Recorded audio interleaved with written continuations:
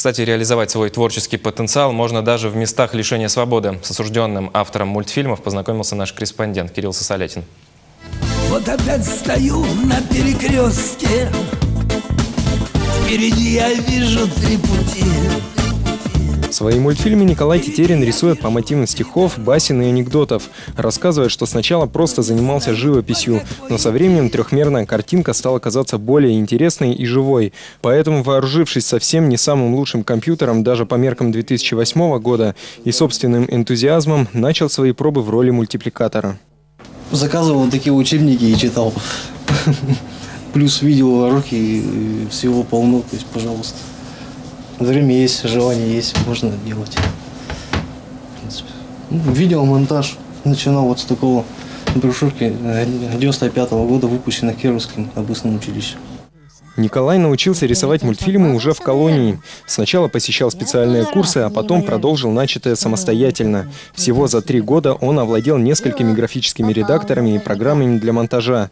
Сам говорит, что в создании мультфильма его очень выручает ранее полученное знание музыкальной теории и живописи. В создании мультика, по идее, это порядка 10 профессий. Одно, то есть это, по идее, должны делать, ну, грубо говоря, если разделить на основные э, отделы, ну, как грубо говоря, когда создается мультик, все равно создаются отделы, то есть, в общем, звук отдельно история, а, моделирование отдельная история, анимация отдельная история, съемки камер тоже отдельная история. Поэтому создание мультфильма – процесс очень долгий и трудоемкий. С 2008 года Николай успел нарисовать лишь три полноценных мультика и несколько роликов. Целевая аудитория пока очень узкая, исключительно лишь те, кто смогут понять специфику жанра. Ты там за свою делюгу не рассказывай. Сам знаешь, что люди подумать могут. И кем ты после этого будешь. Так что думай сам, пацанчик, что и как сказать, чтобы беды не было. Так и не понял первоход Вася что имел в виду Витя Рашпи. Но в какие-то рамки автор себя загонять не собирается. В ближайшее время вот я говорю что-то вот такое сделать для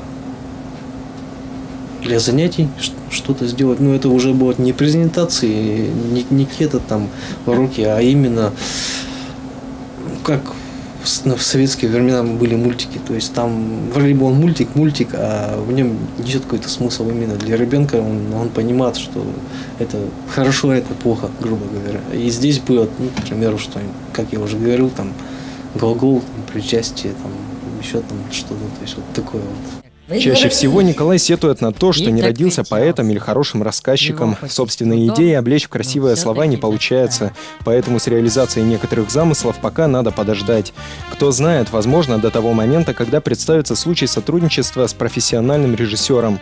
Удивителен сам факт того, что человек, находящийся не в лучшей жизненной ситуации, смог не просто устоять на ногах, но и приобрести, по сути, новую профессию и вновь смотреть вперед, строить планы и постоянно пытаться реализовать себя. Кирилл Сосолятин, Руслан Быкасов, Вести, Кировская область.